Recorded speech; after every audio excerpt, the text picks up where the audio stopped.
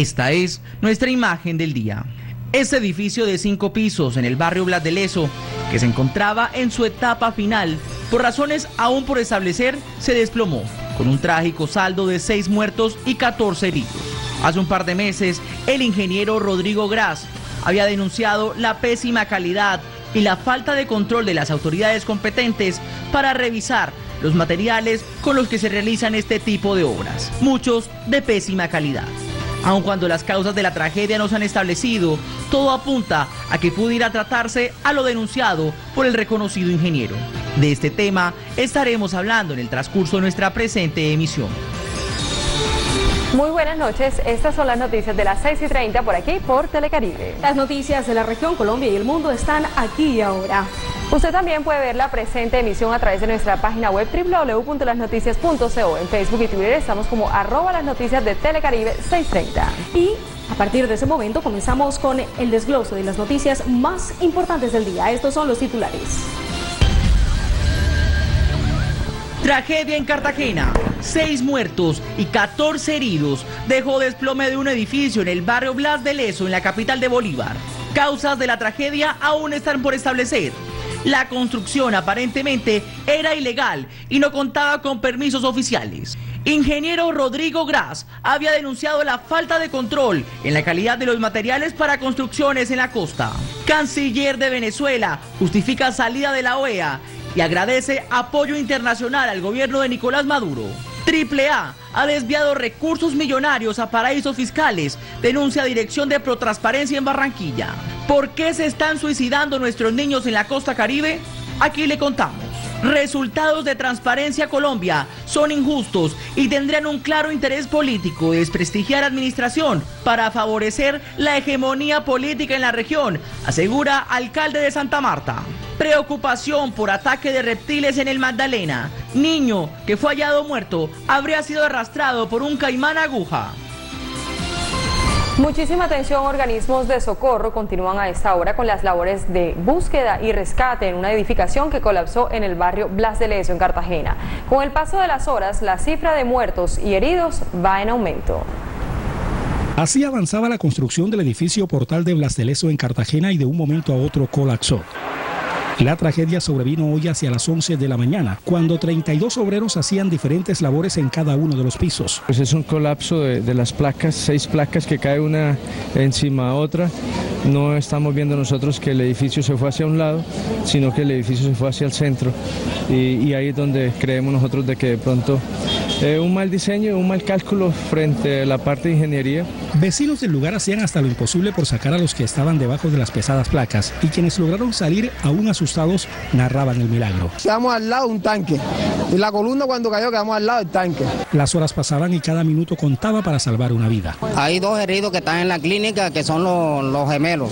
Eh, de los otros no se sabe nada hasta el momento. Estamos sacando heridos en estos momentos y lo importante es que los que estén allí eh, prestarle la mejor atención para poder salvar sus vidas. Al cierre de esta emisión continuaban las labores de búsqueda y rescate. Siete personas fueron reportadas como muertas y 17 heridas, pero por la magnitud de la tragedia se estima que seguirá aumentando el número de víctimas. Qué tragedia. Y a propósito de esta noticia, hace algunos meses el ingeniero Rodrigo Gras denunció la mala calidad de los materiales de construcción y la falta de control que existe en la costa. Ante el catastrófico hecho registrado en Cartagena, justamente en el plan 400 del barrio Blas de Leso, en el cual un edificio en construcción se desplomó, dejando como saldo seis personas muertas y 14 heridos. De acuerdo a los primeros indicios, la construcción no contaba con los permisos de las curadurías y se trataría de una edificación clandestina. Los hechos aún están por esclarecer. Sin embargo, no se descarta que los hechos estén relacionados con las denuncias realizadas por parte del ingeniero Rodrigo Gras, el cual destacó que no existe un control vigilancia de la calidad de los materiales usados en este tipo de obras. Esta construcción que se cayó según los videos, según las evidencias, según las fotografías que estamos viendo, indican que la estructura colapsa porque fallaron las columnas. Sí se ve el acero desgarrado, el acero que fluyó. Algunos dicen que tenía licencia, otros dicen que no. Lo que sí es claro es que la ingeniería está fallando. El experto hace un llamado a las entidades de control para que casos como estos no continúen repitiéndose en todo el país. La ingeniería se está vendiendo al mejor postor. Se está tratando de minimizar costos, de minimizar o eh, en, en detrimento de la calidad de los materiales, construir edificaciones para sacarles mayor provecho, para sacarles mayores ganancias y no importándole la vida de las personas o la inversión de las personas que habitarán. Para GRAS estos hechos indican que se están violando las normas consignadas en el reglamento colombiano de construcción sismo resistente. Una de las noticias internacionales del día fue la salida de Venezuela de la OEA. La canciller de ese país expresó las razones y agradeció las diferentes manifestaciones de respaldo al gobierno del presidente Nicolás Maduro. La canciller de Venezuela, Delcy Rodríguez, aseguró que el pueblo de su país celebra el anuncio de la salida de la Organización de los Estados Americanos, OEA, tras denunciar que sectores políticos internacionales vienen interfiriendo en asuntos internos del país además de agenciar acciones violentas contra la institucionalidad. Rodríguez explicó las razones que tuvo el gobierno para tomar la decisión de salir de la OEA. Lo hicimos por dignidad, lo hicimos por la patria, lo hicimos para proteger la paz, para proteger la estabilidad de Venezuela. Frente a los abusos, frente a las desviaciones de poder, frente a las ilegalidades, frente a las ilicitudes, Asimismo, agradeció el apoyo internacional a la revolución bolivariana. Muchos amigos han llamado de gobiernos para saludar la decisión de Venezuela. Creo que hay muchas coincidencias con el proyecto histórico bolivariano. Creo que se ve y se nota y está presente en nuestra región. Como respuesta a esta decisión, varios han sido los colectivos que se han sumado a la campaña continental de respaldo al gobierno de Nicolás Maduro. En México, varias ONG realizaron un plantón en el emblemático Salto del Ángel para enviar un mensaje de apoyo al pueblo y gobierno venezolano y rechazar las políticas intervencionistas de Estados Unidos, pues aseguraron que el gobierno de esa nación quiere financiar a los grupos de ultraderecha que intentan sembrar el terror a través de la violencia. Asimismo, en Venezuela hoy diferentes organizaciones sociales de mujeres venezolanas se movilizaron por las calles de Caracas en defensa y resguardo de la paz ante los planes golpistas de la derecha contra el gobierno de Nicolás Maduro. En tanto que en Barranquilla, a esta hora, se adelanta un acto político de solidaridad con Venezuela, convocado por la comunidad del vecino país residente en la ciudad, que cuenta con la presencia del vicecónsul de ese país, Humberto Acevedo.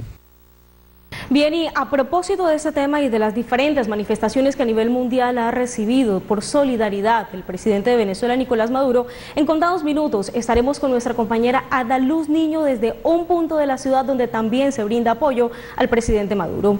Bien, y pasamos a otro tema que ha causado conmoción a nivel nacional y mundial y es el escándalo en España que repercute aquí en Barranquilla. Las noticias sigue investigando el caso de corrupción de AAA y también los vínculos con el distrito a lo largo de los años en administración tras administración. Ayer le preguntamos al secretario jurídico sobre los 13 mil millones que AAA no ha pagado.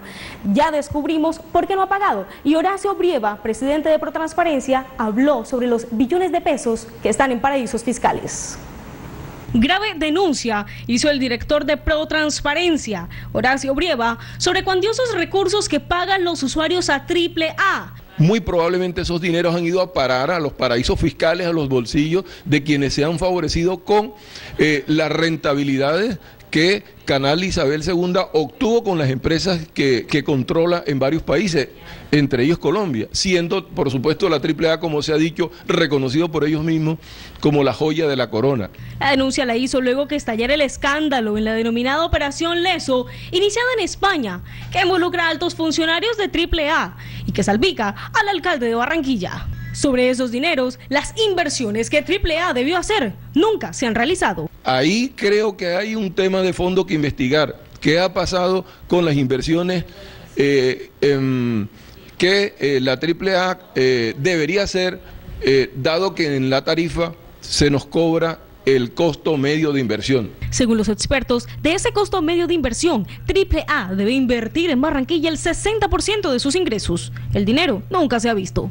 También nos detalló qué pudo haber pasado con aquellos 13.500 millones de pesos que AAA no ha pagado desde el 2013, luego que se comprometiera en el año 1998 con el alcalde de la época, Bernardo Hoyos, a pagarlos por la prórroga de la concesión por 20 años más. Posteriormente hubo un tribunal de, un tribunal de arbitramiento eh, que donde ganó el distrito, eh, laudo arbitral que luego fue ratificado en el Consejo de Estado a favor del distrito, sin embargo, luego hubo una negociación ¿cierto? Eh, eh, por fuera de, ese laudo arbitral y del fallo del Consejo de Estado entre el distrito y la AAA reconociéndole una deuda de 30 mil millones de pesos por una reclamación. El meollo del asunto lo lleva al año 2008, cuando en su momento el alcalde de la época era Alejandro Char. Hubo una negociación eh, entre la AAA, el distrito le reconoció, eso para mí es extraño, habría que averiguarlo, entre otras cosas porque el distrito contrató a una firma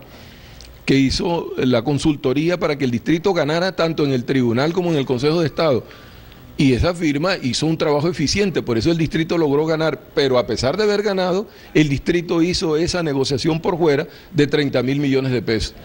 Esa deuda hoy el distrito la está asumiendo, por eso al distrito no le ingresa nada por concepto de regalía. A lo largo de los años nadie ha denunciado el hecho y lo peor es que según Horacio Brieva, aunque la Fiscalía ha podido investigar de oficio estos movimientos extraños que han perjudicado el bolsillo de los barranquilleros, nadie ha hecho nada. Pilar Bustamante, las noticias, un compromiso con la verdad. Ven y te cuento que si eres moroso tienes descuento. Si tienes deudas de impuestos distritales del año 2014 o anteriores y cancelas hasta el 31 de mayo del año 2017, recibes el 60% de descuento en los intereses por mora. La ciudad te cumple, cúmprele tú también. Alcaldía Distrital de Barranquilla, capital de vida. Tenemos más información. Hay alerta por suicidios en niños y adolescentes en la costa. Según expertos, las redes sociales como Facebook y Twitter se han convertido en las herramientas más graves para influir en estas decisiones. Las redes sociales como Facebook, Twitter, incluso Instagram, se han vuelto en las herramientas más graves para influir en el suicidio. Estas redes sociales han puesto en alerta a los especialistas porque están ocasionando una influencia para consumar este hecho que quita la vida a los adolescentes. Según cifras entregadas por la Organización Mundial de la Salud, desde el 2015 hasta el 2017 se han registrado más de 1.450 suicidios en todo el mundo. Colombia no es ajena a esa realidad cifras de medicina legal establecen que en el último año 143 adolescentes se quitaron la vida. En los siete departamentos de la costa, en total, la cifra asciende a 12, número realmente alarmante cuando se comprueban que las víctimas oscilan entre los 9 años y 15. El Atlántico ha sido escenario de dos de estos suicidios. El primero se registró en el mes de enero en el municipio de Palmar de Varela, con un menor de 13 años de edad. Y el pasado 17 de abril, en esta misma población, otro menor de 14 años. Según los especialistas, el principal factor que está ocasionando esa tendencia tiene que ver con un aumento en el nivel de violencia, bullying y acoso que se presentan en las redes sociales, así como la falta de regulación en el contenido de los mismos. Están en una etapa tan vulnerable que también son muy sugestionables, como son la mayoría de las personas. Em, dependiendo de las herramientas psicológicas que ellos tengan para defenderse de eso, es lo que puede ayudar a que la persona lo haga o no lo haga, pero por eso hay que incentivar desde la familia, desde temprana edad, lo que es saber lo que es bueno y malo, cómo defenderse y cómo aprender a tolerar la frustración. Sobre el peligro de esas redes sociales, la ministra de Educación, quien estuvo hoy en Barranquilla, hizo un llamado a los padres de familia. Los padres entendiendo que hoy en día las redes sociales son como la calle en nuestra época. A uno, hace unos años le decían a uno, los papás, teníamos 10, 12, 14 años, no vayan a la calle que uno nunca sabe qué puede pasar. Pues hoy la calle está en muchas veces en el mal, en el mal uso de las tecnologías de la información y las comunicaciones, en el mal uso de las redes. No obstante a estas advertencias, la misma Organización Mundial de la Salud asegura que en el 2020 las cifras de suicidios consumados de menores de edad podría ascender a los 1.53 millones de casos. Esto debido a la depresión y a los malos manejos de herramientas como las redes sociales. Seguimos con más noticias de nuestros niños. Hay muchas versiones que se escuchan sobre las causas de la muerte de un menor de 8 años a quien presuntamente un caimán arrastró a las profundidades del río Piedras en el Parque Tayrona. Medicina Legal aún no entrega resultados de la necropsia.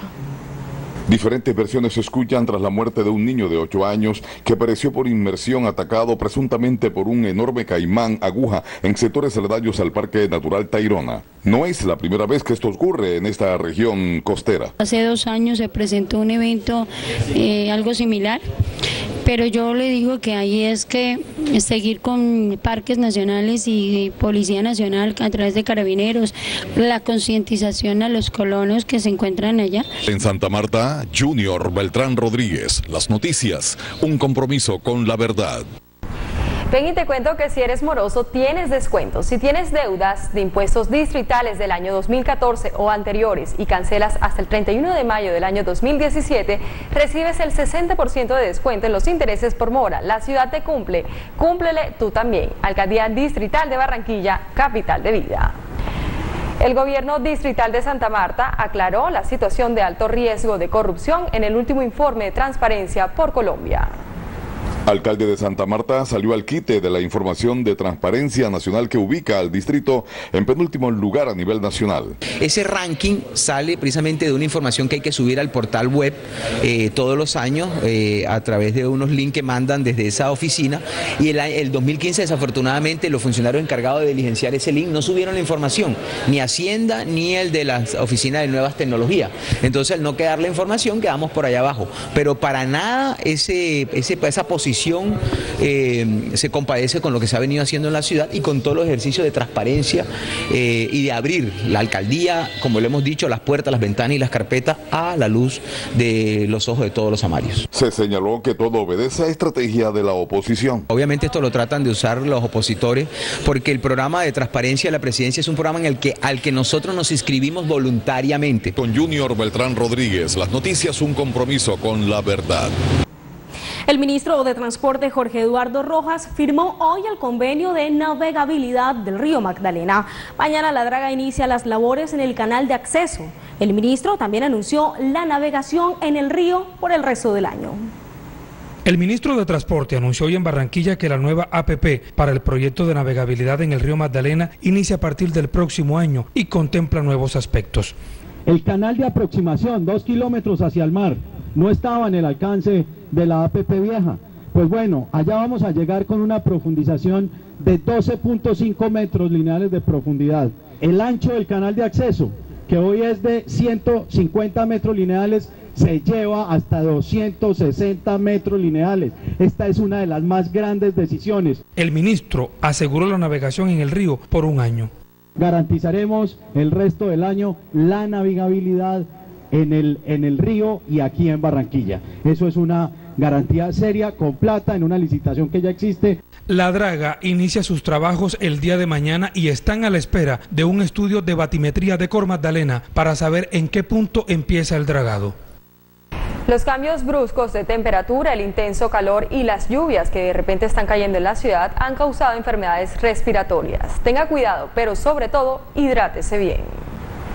La Asociación Colombiana de Infectología alertó sobre el incremento de alergias respiratorias, neumonías, bronquitis e influenza en esta época del año en la región Caribe. Como las bacterias y virus asociados a las vías respiratorias se mueven en ambientes fríos y húmedos con el aumento de las lluvias y los cambios drásticos de temperatura, los mecanismos de defensa del cuerpo caen y las enfermedades se activan. El agua nos permite, sobre todo para las infecciones respiratorias, el agua nos ayuda a que el moco eh, vuelva más fluido y podamos expulsarlo, porque el moco queda como estancado en las vías respiratorias. Entonces la bacteria aprovecha, llega, coloniza, se coloniza el moco y ahí produce la infección. Los otorrinos, por su parte, consideran que la proliferación de las enfermedades respiratorias se propagan por los estornudos y la falta de cuidados a la hora de limpiarse con la mano, sin uso de un paño o servilleta. La Secretaría de Salud del Departamento del Atlántico también alertó sobre el especial cuidado que debe tenerse en los depósitos de agua en las casas y evitar la proliferación del dengue y otras enfermedades. Pilar Bustamante, las noticias, un compromiso con la verdad.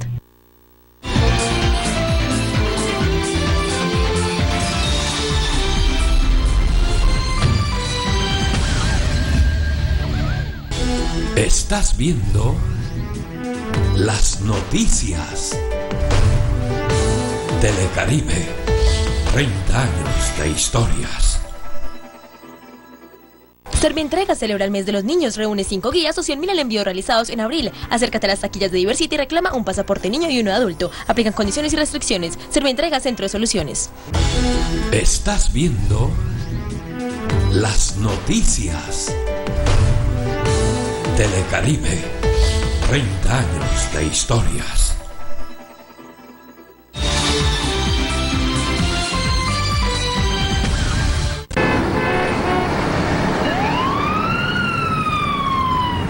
No más excusas, no seas un mal parqueado. Alcaldía de Barranquilla, capital de vida. Supergiros solicitamos asesores comerciales con excelentes ingresos y estabilidad. Envía tu hoja de vida a tu empleo ahora arroba hotmail.com. Te invitamos a ser parte de la gran familia Supergiros. Supergiros comprometido con la prevención del lavado de activos en la región.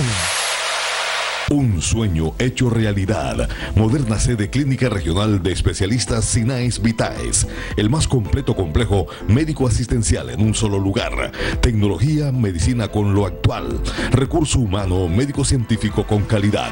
Doctor Anuar Cruz Fuentes, director general Bosconia Cesar.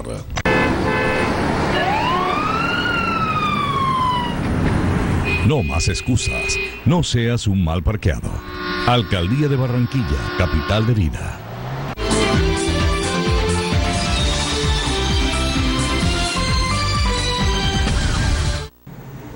Bien, y continuamos aquí en las noticias 6.30 con nuestro compromiso con la verdad.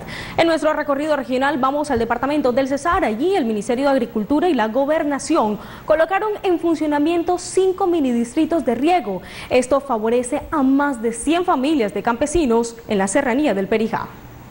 El gobernador Ovalle destacó como positivo la entrega de estos mini distritos de riego donde se benefician directamente a 136 familias de campesinos, productores de alimentos de pancoger y la ganadería por silvopastoreo en 314 hectáreas. Esto con una inversión de más de mil millones de pesos en la reconstrucción y reactivación de los pequeños sistemas de riego. Asimismo, el mandatario afirmó que se está trabajando y en pocos meses se hará la entrega de otros ocho mini distritos para completar la recuperación de 13 sistemas de riego en diferentes municipios del Cesar. Lo que nos corresponde en este resto de periodo, doctor Hechen, es apostarle con recursos, brindarle herramientas a estos pequeños productores para que puedan sembrar todas estas tierras productivas que tenemos, unas tierras hermosas, unas tierras con unos niveles freáticos y unos niveles de suelos muy importantes para que puedan garantizarle la seguridad alimentaria a este país y a esta región. En Valledupar, Ramón Meneses, las noticias, un compromiso con la verdad. Para el próximo primero de mayo, la Central Unitaria de Trabajadores realizará una marcha en la ciudad de Barranquilla para alzar la voz y mostrar su inconformismo contra la corrupción y las actuales condiciones laborales. Este primero de mayo es el Día Internacional de la Clase Obrera y en Barranquilla, la Central Unitaria de Trabajadores, encabezada por su presidente Javier Bermúdez, realizará una marcha que arrancará desde el Parque Estercita Forero, exigiendo la dignidad y los derechos de los trabajadores, tomando como insignia la paz. Rechazamos la corrupción, los escándalos de Odebrecht, a rechazar eh, las políticas santistas, pero de igual manera las políticas eh, estatales del distrito y del departamento, como son la doble tributación y demás. Esta será la ruta de la marcha que saldrá a partir de las 10 de la mañana. La marcha sale del Parque Estercita Forero de la 74 con 43, bajamos por la 43, doblamos hacia la derecha por la 72 hasta la 37 a la izquierda y vamos a parar en el, o hacer un pare en la Escuela Normal La Hacienda, donde rechazaremos pues la toma de ese pulmón ecológico, seguiremos y llegaremos al Parque O La Herrera. Asimismo solicitan a la policía poder marchar en paz. Tenemos una reunión con el comandante de la policía el día de mañana donde le vamos a exigir la presencia de la autoridad, pero la autoridad vestida de su uniforme tradicional. No queremos policía vestido de civil. Se espera que en esta marcha participen más de 40 mil personas. Bien, Pili, ha llegado la hora de saludar a toda nuestra teleaudiencia que está presente allí en Facebook para el día de hoy. Ellos son Tomás González, Miguel Miranda desde Cúcuta, Alberto Ramírez desde San Pues, en Sucre, Alba Meneses y Vladimir Pérez. Yo quiero saludar a Nancy Ramos, Mauricio Soto, María de los Ángeles Rodríguez, José María Mendoza, Lorena Méndez, Álvaro Arrieta está en Zipaquirá, Cundinamarca. Qué delicia que la gente nos sintonice desde cualquier parte de Colombia y del mundo. Así es, Pili. Bien, y vamos ahora con información deportiva.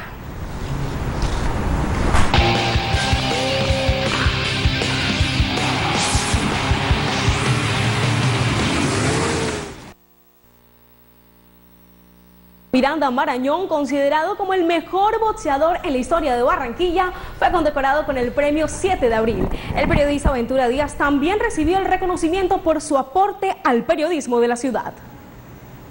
Evocando las grandes épocas sobre el ring, recibió Mario Miranda Marañón la gran distinción 7 de abril, considerado el mejor boxeador barranquillero, el más taquillero y mejor pagado de la historia del boxeo en Colombia. Me ha motivado a mí mucho de saber de que la gente mía pues me consideran como un gran deportista. Miranda Marañón disputó en 1982 el Campeonato Mundial Pluma del Consejo Mundial de Boxeo ante el boricua Juan Laporte en el Madison Square Garden, perdiendo en el décimo asalto por la vía del knockout. Obtuvo a lo largo de su carrera 41 victorias, 24 de ellas, enviando a sus rivales a la lona y con una gran historia de vida. Este deporte es un deporte que es bastante fuerte, no un deporte fácil, un deporte que dan muchos golpes y no es lo mismo que te den golpes en el cuerpo que te lo den en la cabeza. En el mismo acto, Ventura Díaz Mejía también fue condecorado por su aporte al periodismo de Barranquilla. Una condecoración que esté ligada a mi actuación como ciudadano barranquillero, para mí me llena de profunda satisfacción. Y envió un mensaje a quienes apenas comienzan en este arduo oficio de la comunicación. Constancia, tesón, responsabilidad, mucho compromiso social y mucha seriedad en las cosas. Esta es la tercera edición de los premios 7 de abril, una iniciativa liderada por el periodista Eduardo Cepeda. Qué bonito reconocimiento. Los tenistas colombianos Juan Sebastián Cabal y Robert Farah calificaron a semifinales del ATP 250 de Budapest al derrotar a la pareja conformada por Paolo Lorenizo y Julio Peralta en parciales de 7-6, 4-6 y 10-5. Más deportes a continuación. Junior sigue sin levantar cabeza y sumó otra derrota a manos de Atlético Nacional en el juego para ponerse al día en la liga. Sin jugar mal, los rojiblancos dejaron escapar el empate en el último suspiro tras un penal innecesario de Pecoso Correa. Dairo Moreno adelantó a los de casa. Leonardo Pico empató con un golazo y en los minutos de reposición, Andrés Ibarwen le dio la victoria a los verdes. Junior sigue en el puesto 18 con solo 11 puntos. A partir de hoy y hasta el próximo domingo se disputará en la piscina olímpica la tercera edición del torneo internacional de polo acuático Gonzalo Forero. Participarán siete equipos, entre los que se destacan Miami South Beach de los Estados Unidos. Nairo Quintana disputará este fin de semana su última prueba antes del Giro de Italia en la Vuelta a Asturias. El ciclista colombiano del Movistar Team será el principal referente de la Vueltina en la edición 60 y tratará de rendir al máximo para llegar en un gran momento al Giro en su intento por conquistar el doblete Giro Tour.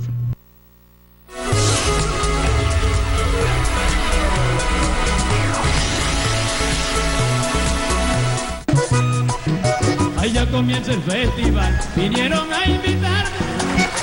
Ya se van los provincianos que estudian conmigo.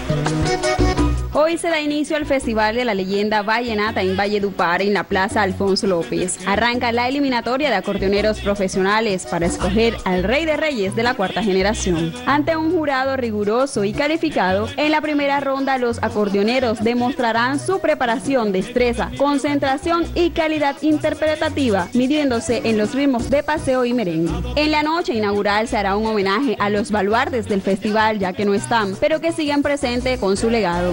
La fiesta de acordeoneros más grande de Colombia suma 50 años y se resume de manera magistral en un musical de 45 minutos que contará con alto contenido de folclore y nostalgia. Tradicional desfile de pilonera se le da inicio a la versión número 50 del Festival de la Leyenda Vallenata.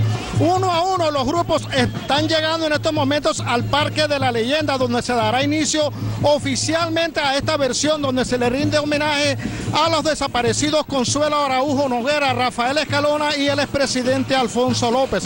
Como se recordará, en esta versión es catalogada como la versión 50 Rey de Reyes. En el día de hoy también se iniciaron las presentaciones de las canciones inéditas y la presentación de los aspirantes a ser coronados como rey de la leyenda vallenata. Mañana estarán en tarima todos los aspirantes a coronarse como reyes en las diferentes categorías que se realizan en el Festival Vallenato.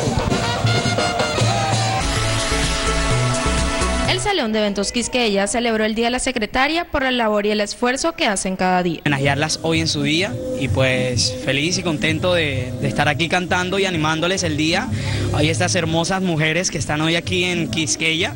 El alcalde de Galapa, Carlos Silvera, cuenta lo importante que es una secretaria y la importancia de celebrarles este día especial a estas mujeres que hacen un excelente labor. Generalmente son las mujeres que, que la confianza que le brindan en el día a día, en la operación, en la parte administrativa y que son un respaldo muy importante para, para ejercer una tarea de un, de un jefe. Bien, Pili, ahí estaba entonces la información del entretenimiento y este fue nuestro compromiso con la verdad por el día de hoy. Así es, mañana nos vemos a las 6 y 30 de la tarde, por aquí, por Telecaribe.